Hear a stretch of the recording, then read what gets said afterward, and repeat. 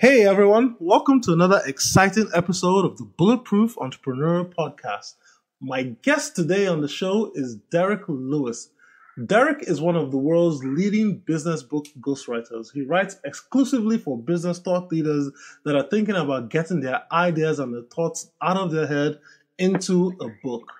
Derek kind of stumbled into ghostwriting. He used to work a job where, you know, he was the guy that got assigned to do the writing in his company, but he started moonlighting as a copywriter, eventually started writing articles, and before you know it, he unexpectedly found a client who asked him to write a book, and from there, he's he was off to the races.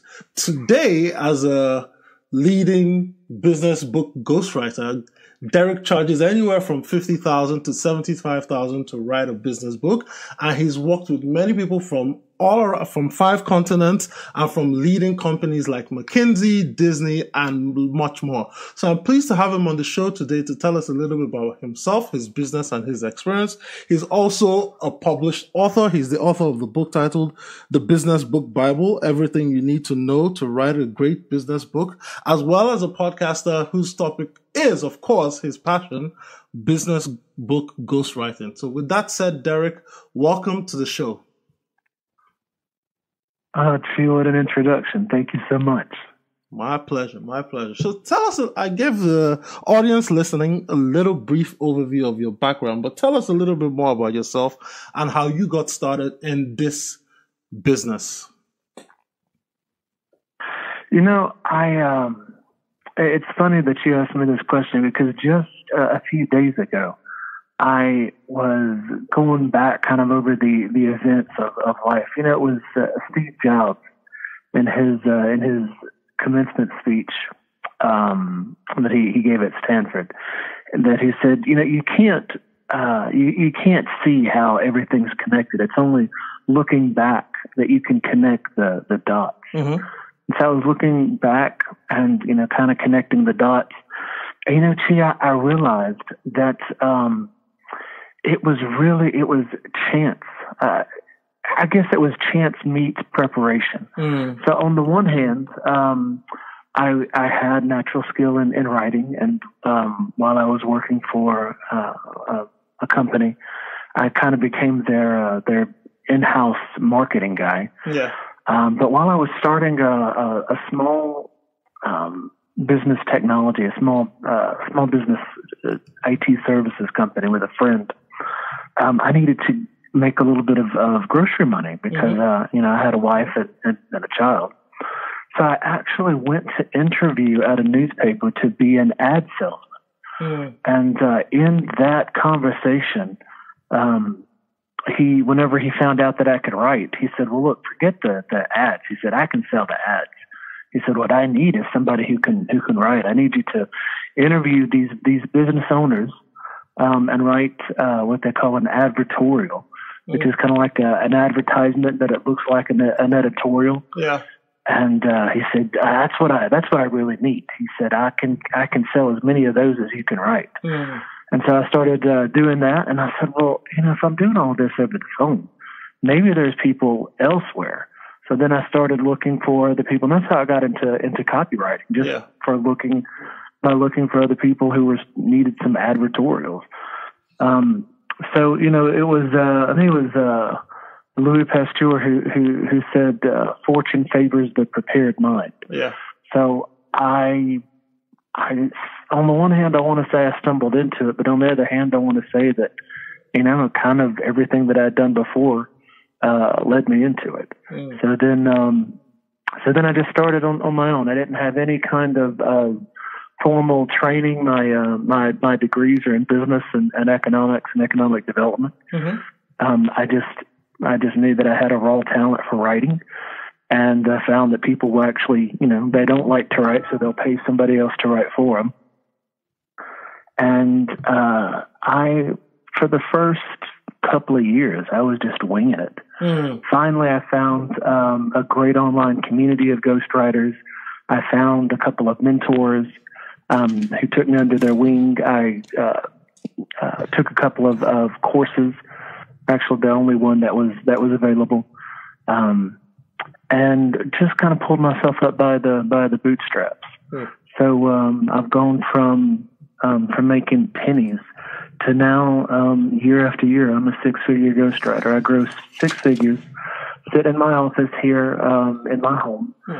I make my own hours. I work whenever I want to. I get to work with amazing people yeah. who are uh, just brilliant thought leaders in their field, and uh, they actually, you know, they they they respect me. They come to me asking me what, um, you know, how their book should be structured and, and asking for my advice. So I've gone from being a a copywriter begging for for scraps and basically having to take whatever um, was available to the point where I can I can be a little choosy. I, I can turn down projects and, mm. and refer them on to other people that I think are more qualified or other people that I, I think um, would be a better personality fit mm. for uh, for those particular customers. So yeah, I'm uh, I'm living the dream, man. Awesome, awesome, awesome. And I see because the way I found you was um I had booked to interview Matt Pollard when his book came out, The Introvert's Edge, and I saw at the bottom of his book was Derek Lewis. I'm like, huh.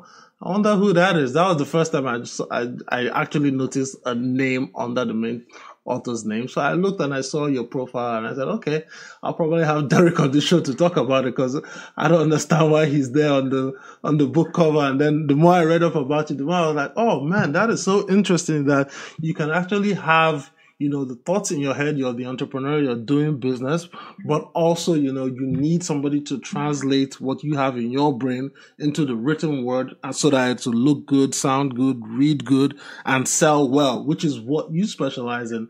And because you specialized to such a degree in just business books, you're now kind of like the brain surgeon, you know, the one guy that, you know, if you need something done, especially in the business book world, people come to you instead of you saying, "Oh, I write uh, books." So you can come to me for any book. I'm sure you wouldn't command the same multiples of figures if you were just a generalist as opposed to the kind of specialist that you are today. Yeah, I have the not only the the competence but the confidence mm-hmm. to charge much higher fees because I know exactly what I'm doing. I know exactly yeah. what questions to, to ask.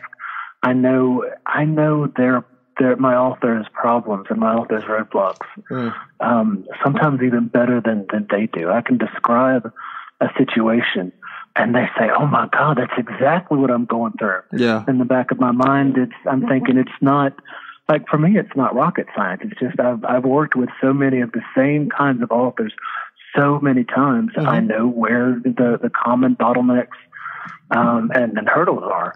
But because this is the first time that they've talked to me, they think that I'm, you know, I'm a magician. I'm, I'm a genius. Yeah. Because I can read their mind, and it's really, it's just, it's experience, a lot of experience in a very narrow niche.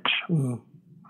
So in those early years before you actually found a community and a mentor to help you, you know, you were writing, but you were also struggling and you were stumbling. So, what were some of the mm-hmm. challenges you faced during those early stages of learning this craft?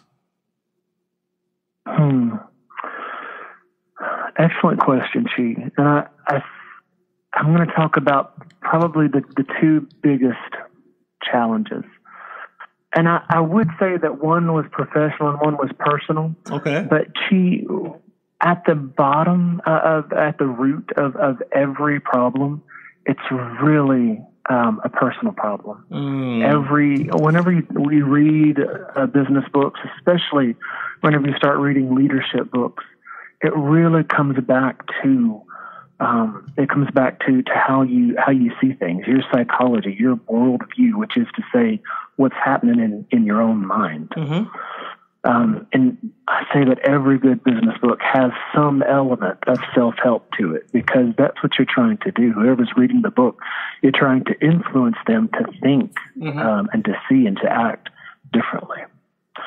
So the number one problem um, or one of the, the two main problems I had was that I didn't have the confidence to charge more than I did because writing was easy for me mm-hmm. because it's just a natural ability that I have and because I you know, I love business. I, I used to read business books even in even in high school. Yeah. And then got degrees in in business.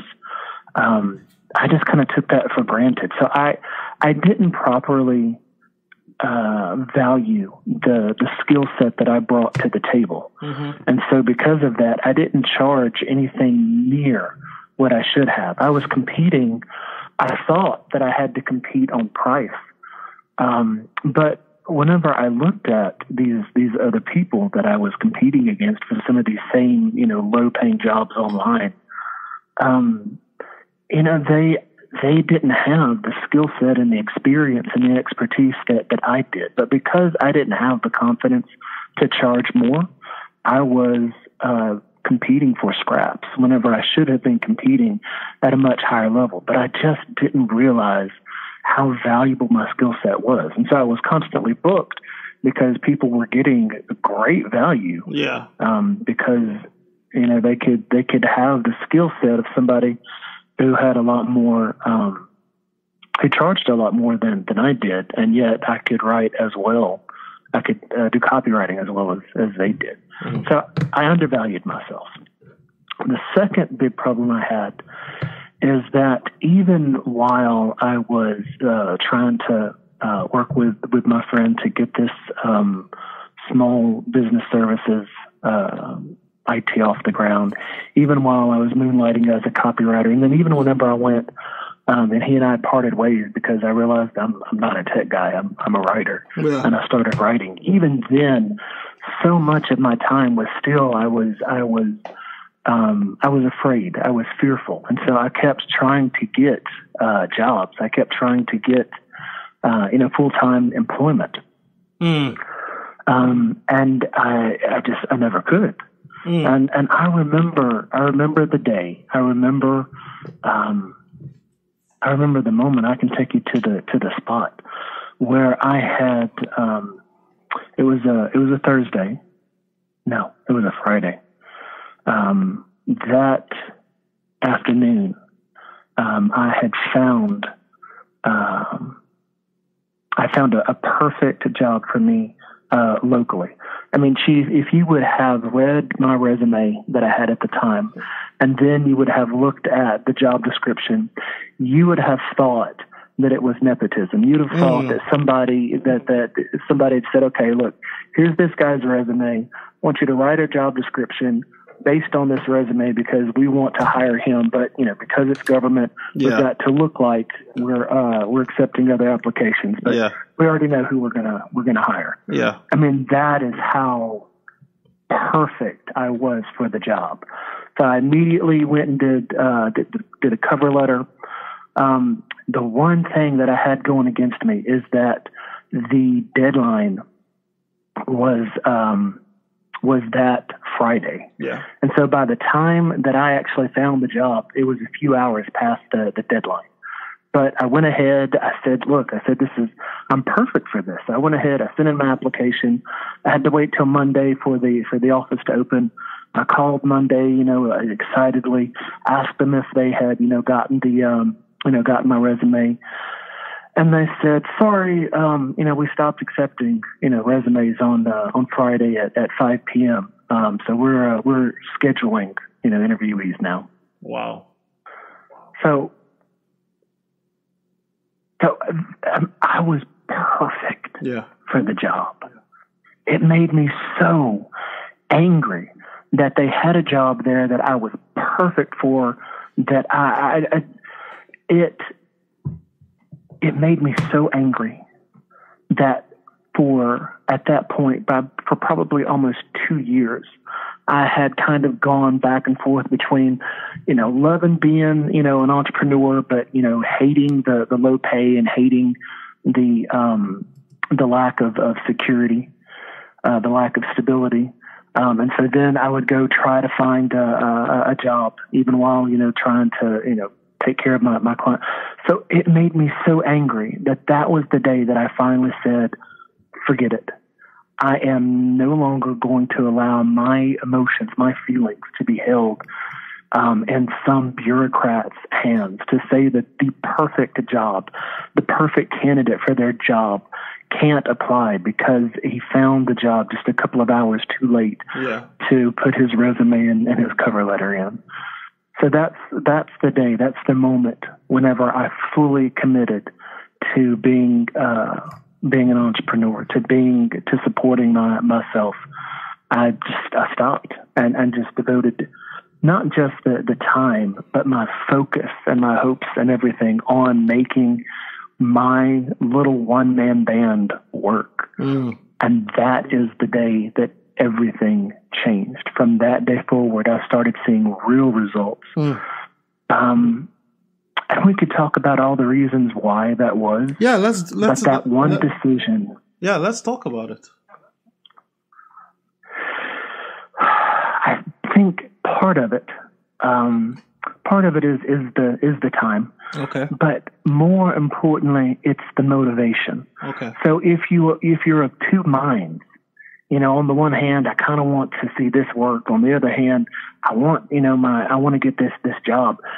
So it's uh, it reminds me of of uh, Ron Swanson off of that show uh, Parks and Recreation. Yeah. He says never half ass, never half ass two things, whole ass one thing. Okay.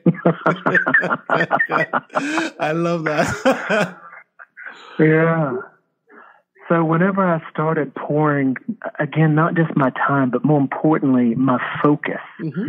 into my business, I started seeing exponential results. Not just, it wasn't just, okay, instead of, you know, spending maybe one day hunting for jobs and applying for them, I'm now going to have one more day that I'm going to do gigs and, and, uh, and try to, you know, really make this work. My whole demeanor, my whole everything completely changed so that I was just focused on making this work because employment was no longer an option. An option. And so in my subconscious, it was like uh, that that urban, not that urban, but the old uh, legend of uh, Hernan Cortez um, whenever he landed in Mexico, Yeah. and and you know legend says that he burned his ships yes. so that uh, you know there was no going back, there was no retreat. It was Mhm. either you know conquer Mexico or or uh, or die Yes. That's kind of what it was. It was either I have to make this work or we're going to starve. Hmm. Love that. Love that. I mean, uh, and that that that is basically, I think, the deciding, the tipping point of every successful entrepreneur is that you get to one situation, one circumstance, and it's like you know, it's the straw that breaks the camel's back. Where you're like, you know what, enough is enough. I'm I'm going all in. Screw everything. I'm just going to do it.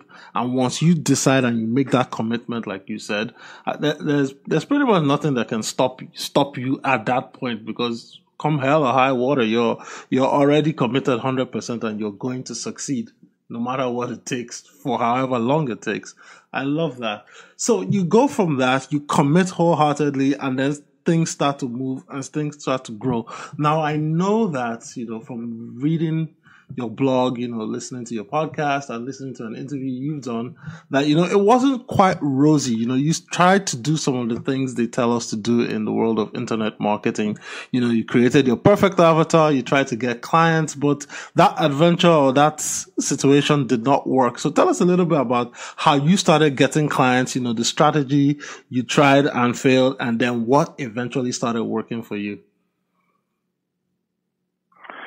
So two two big learnings for for me, um, and really both of them came about because I had uh, because of the two mentors that I found. You, you heard that saying, uh, "When the student is ready, the teacher will appear." Yes. So soon after, I had uh, committed, fully committed, gone all in on um, on making this work, and uh, then I had um, I'd found uh, someone who wanted to do a, a book. So then I decided, um, or discovered really, that I'm a really good book ghostwriter. Yes, I could do blogs and articles and and some of the small things that I was doing, but I did a really great job being a, a full length book ghostwriter. So that's what I started focusing exclusively on.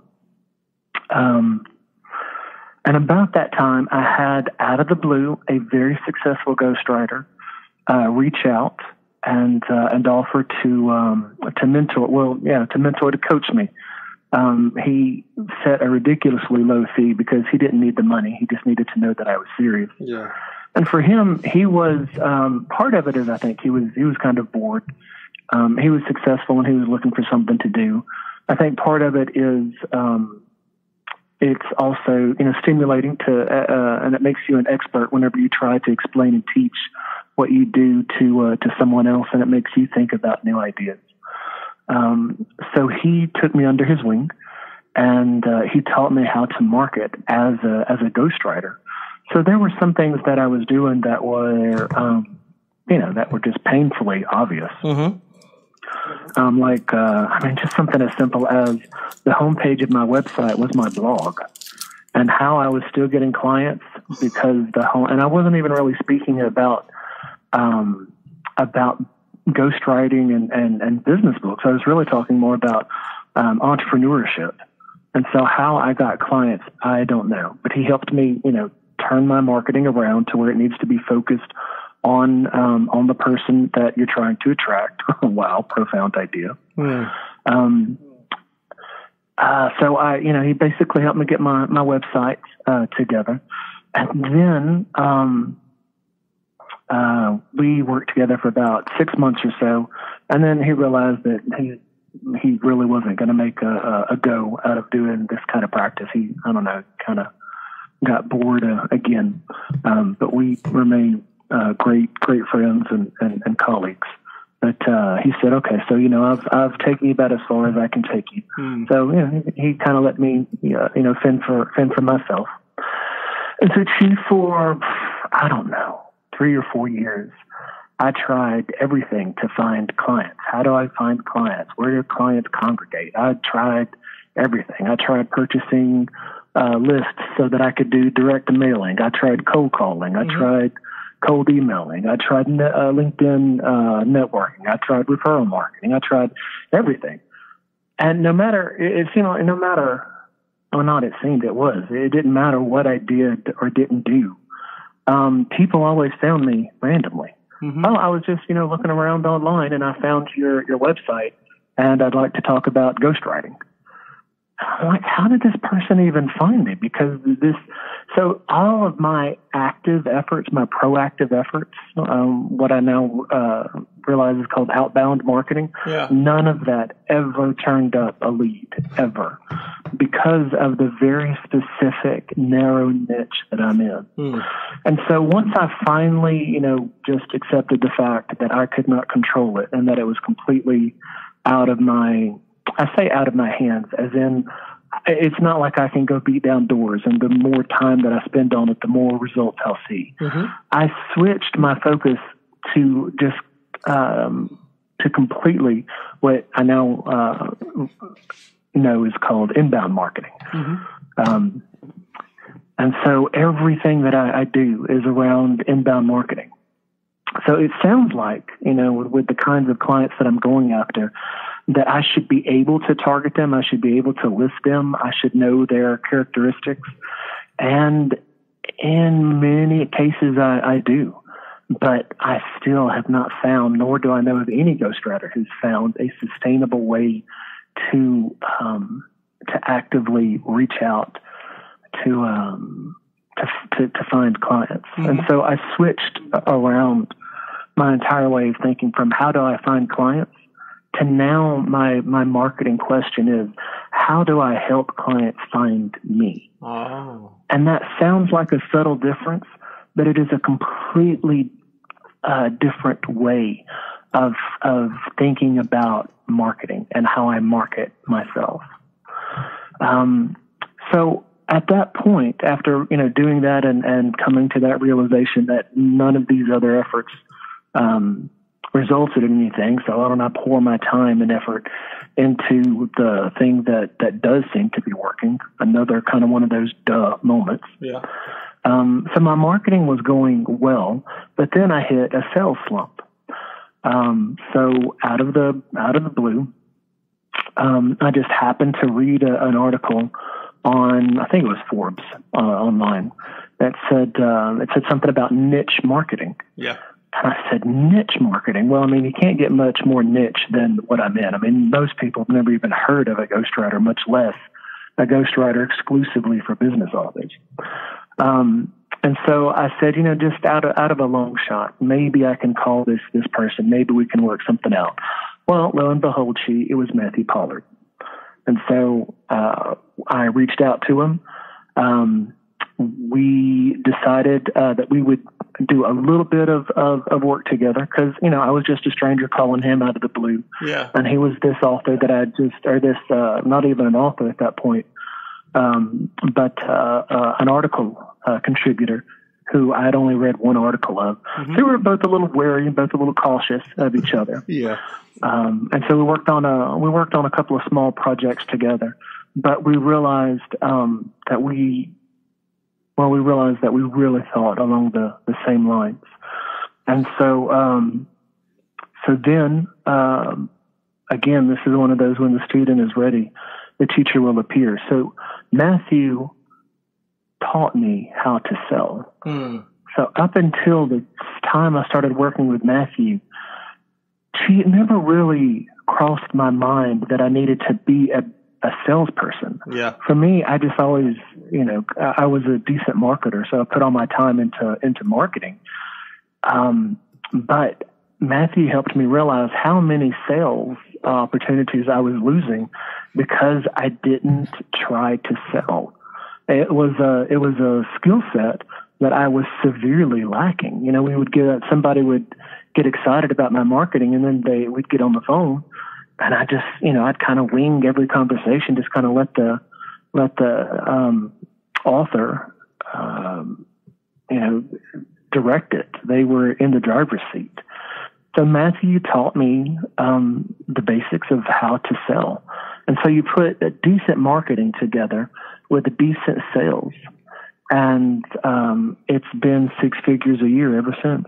Mm. So now let's let's talk a little bit about what you just said, which is basically you were getting authors on the on the call, but yet you couldn't, you know, mm-hmm. go from marketing to sales. So what's what were some of the things Matthew taught you to do to make you become a better salesperson and to transition it from the author being in the lead or in control of the call to you being in control and leading the call and directing them to what you want them to do, which is take action. Mm-hmm. So two two big um, revelations for me. One is that I had to sell. I, I just did never, for some reason, I just didn't think that I had to sell. I thought that my marketing would do all the work, and that whenever we got on the phone, they would have already made up their mind whether they were going to work with me or not. And the purpose of the call was just to give them, you know, the facts and information that they needed to reinforce whatever decision they'd already made. And that's not the, the case at all. Um, so just realizing that uh, that the call was just you know a first date, okay. and that I needed to get them to to marry me. Yeah. And so, you know, here they are, you know, saying, okay, well, uh, you know, if you're on a first date, well, you know, what what do you like to, you know, what are your likes and what are your dislikes? What do you, um, you know, what do you like to do for fun? How many brothers and sisters do you have? Yeah. And I'm waiting for them to pop the question of, of you know, will you marry me? no, there's there's a whole process that has to happen that you've got to go through before you can before you can get to that point. So I, I know that I'm repeating myself here, but just that idea that I needed to actually do some kind of sales was a huge eye opener for me. Okay. Then the second thing was Matthew saying, okay, so let's just put together a decent sales process. So the uh, so Matthew's book, The Introvert's Edge, which is um, what you were just referring to a, a few minutes ago, mm-hmm. it is uh, it's it is it's made for people like me, introverts uh, who need to sell, but we hate the the idea, or I used to hate the idea the idea of sales and selling. Um, and so Matthew, you know, Matthew just walked me through a very simple kind of seven step process. Um, he said, so what you need to do is you need to have a, a process, a system. So just like um, in in a in a factory. They have uh, they have machinery and they have a process, and you know the product goes down the assembly line and it stops at station one and station two and station three, or how you you know how you you, you assemble a chair. You know, there's you, you open the instruction book and here's step one, here's step two, here's step three. It's the same thing with the sales process. You mm. can wing it, and that's what extroverts do, and they can do that um, because they just have the natural gift of the gab, right? So that's why, you know, if if you're just a really extroverted person, oh, he could sell. Um, uh, one of the, the, the sayings is that uh, you know he or she could sell refrigerators or uh, to Eskimos, yeah. you know, or to sell ice to Eskimos. Mm-hmm. Well, intro, uh, intro, introverts like me can't can't do that. And so Matthew said, okay, so step one is you need to just establish a little bit of, of rapport. So practice what that looks like. How are you going to kind of break the ice? How are you going to introduce yourself to them? How are you going to make some kind of little personal connection with them? Mm-hmm. Um, and then uh, step two, you want to um, you want to get them to start talking about their their pain. So what are they what are they looking for? How did they come across you? Um, he said, and then three, you want to be able to um, introduce yourself, and so you want it to to be rehearsed. You don't want to be fumbling and and uh, and trying to to find the words um, because then you come across as unconfident and as less of the professional that, that you are. So he just walked me through just a very simple seven step process. Um, and then he said, and so here's what you're going to do at the, at the beginning of the call um, you know, you, you, you know, establish a little bit, uh, bit of, of rapport and, and kind of have a little bit of that personal connection, and then tell them, you know, look, um, these are the way. Uh, this is how I suggest these calls usually go. Mm-hmm. I'm going to do this, this, this, and then we're going to talk about this, and then we can talk about um, the different services that I offer and my fees for each. Does that sound good? And then the person says, "Yeah, that sounds great." And so it's a very polite way of, of letting, of signaling to them that I've got a way. This is the process. This is how it's, it's going to go. And, um, and we should be able to take care of, of and address all of your problems and everything in that process. But I'm in the driver's seat and I've got a sales process and I've got to put you into my sales process in order for my sales process to work. Hmm. Now, the, the brilliance of Matthew's system is that you continually refine it, right? So you want to practice.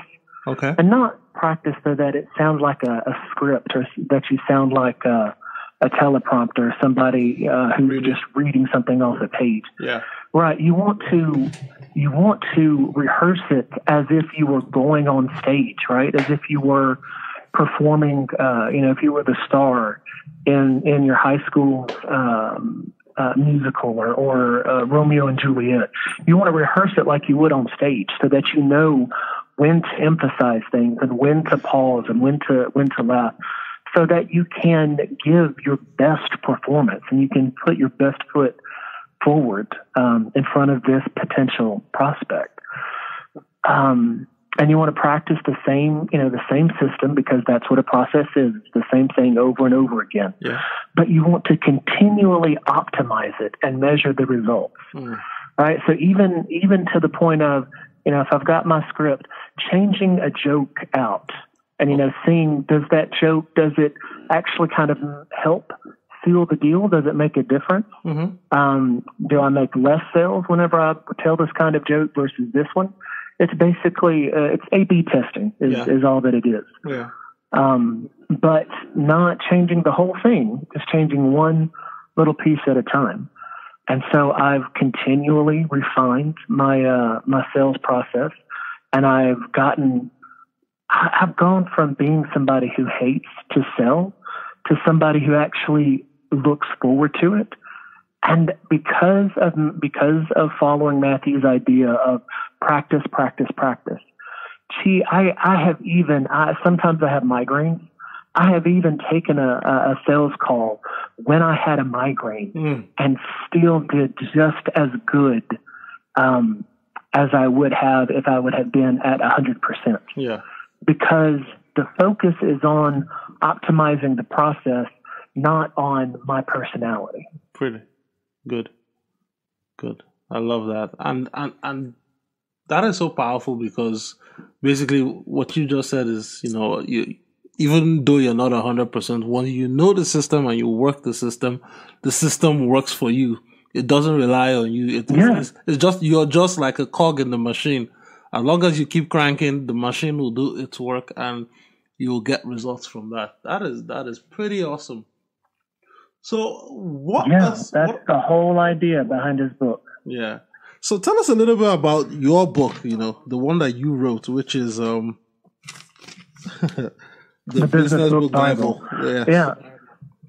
So after after um, ghostwriting for so many different business authors, you know, one of the, the things that I, I I need to do um, is to is to educate myself, right? So I'd read books on on copywriting, read books on being a successful freelancer, read books on on marketing, read books on um, you know, so but in, in in reading all these books and in trying to figure out how do I help my business authors, how do you how do you write a business book? There wasn't a book out there. And so I finally just got so fed up with the fact that whenever I had a problem or an issue, I would either go to my ghostwriting colleagues or I would just have to, you know, just try to come up with a, a solution. Mhm. That I finally said, you know what? There's not a book out there. I know enough to at least write the first book. And so I basically wrote the book out of out of being frustrated, out of being mad Hmm. that nobody else had done it. So I wrote the world's first book on how to write uh, business books. Mm, awesome. And what's been the reception for the book? How's how's the book helped you find clients or generate leads for your business? So um, it hasn't helped me find clients. It has helped clients find me. Right. If you go on Yes. Amazon and you right, right, because Yes. that's it's a it's a it's a bit of a mind flip, right? Yes, yes, Because traditional marketing tells us that we're supposed to go find them.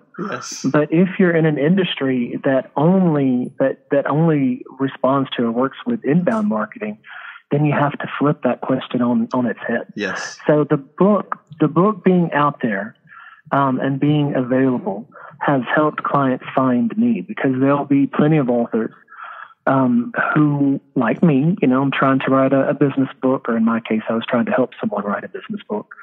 Um, let me go see if somebody ha- out there has written a book on this. hmm And then they come across my book, they buy the book, they read it, and they realize, oh my God, this guy knows what he's talking about. And I didn't realize how hard it was to write a business book. I think I'm going to hire him either to uh, to coach me or to just go ahead and ghostwrite the whole book for me. And with um, with as much as, as I charge, the first person who came to me because uh, they found my book, it's more than paid for any time and effort that I put into the book um, forever. Wow. And as as you corrected me, I, it just came to my mind that you know what? That's I think that's why people, authors, experts, entrepreneurs, whatever you want to call yourself, that's why we all need to have a book out there. You know, because it's so easy for someone to read your book, read your content, get to know you by consuming your your thoughts that you've put on a page, and then they now want to reach out to you naturally. It even happens through this medium where we're talking on a podcast where you and I can talk for one hour, people get to understand what you've gone through in building your business, understand what you do for a living as a ghostwriter, and then when they put everything together, they're like, you know what? I should actually reach out to this guy. He knows what he's talking about he can help me.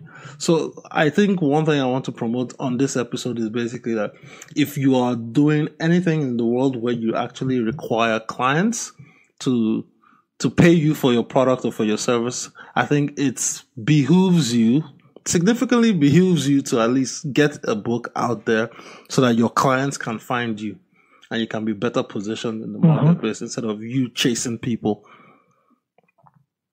So as we start to wind down the show, Yeah. as we start to wind down the show, Derek, tell us a little bit about, you know, if you could go back in time. This is just advice for people that are listening. They're like, oh, that sounds cool. You know, I want to follow in Derek's footsteps. You know, if you could go back in time, tell us a little bit about what you would do differently if you were to start all over again, knowing what you know now.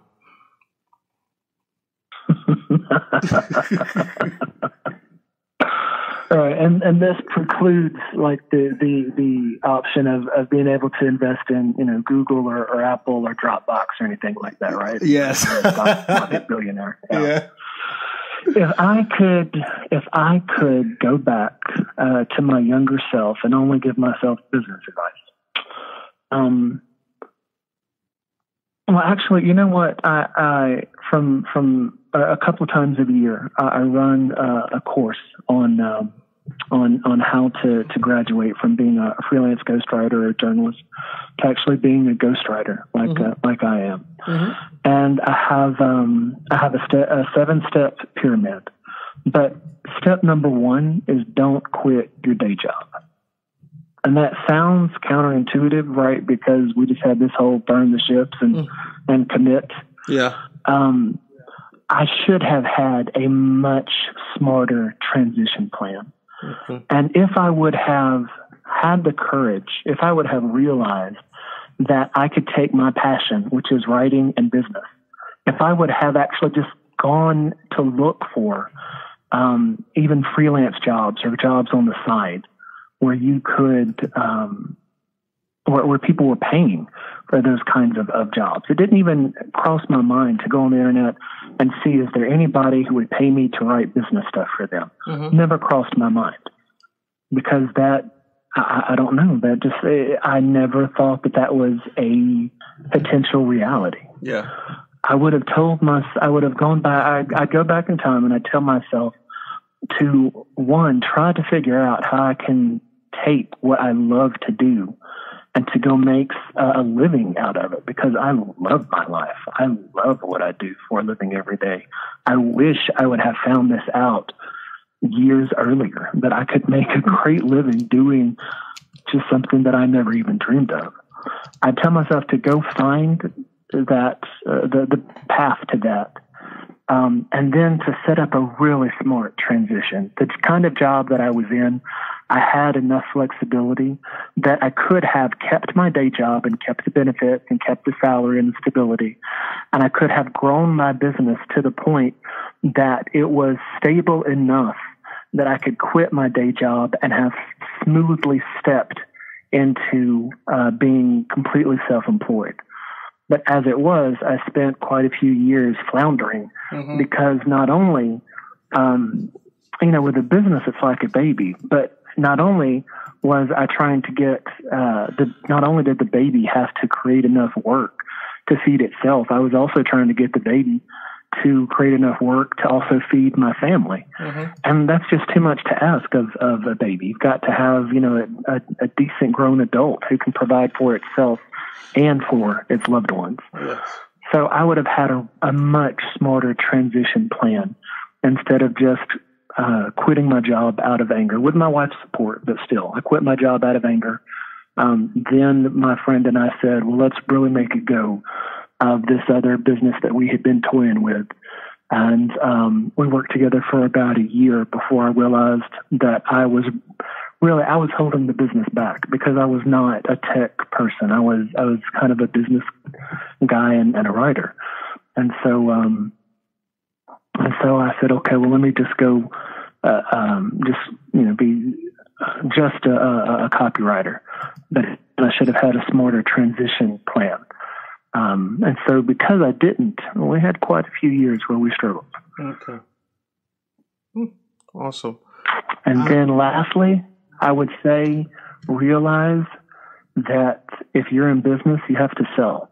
It doesn't matter what you're you're selling, you have to sell. Even if you're a self-employed chiropractor, hmm you still have to sell. Yeah. Awesome. Awesome. Awesome.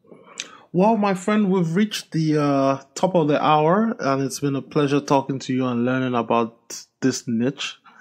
But before I let you go, you know, tell us a little bit about where people can find you, get to know more about you, and of course, possibly reach out to you if they want to contact you and learn more. The best place is always going to be uh, my uh, my website, dereklewis.com. Okay.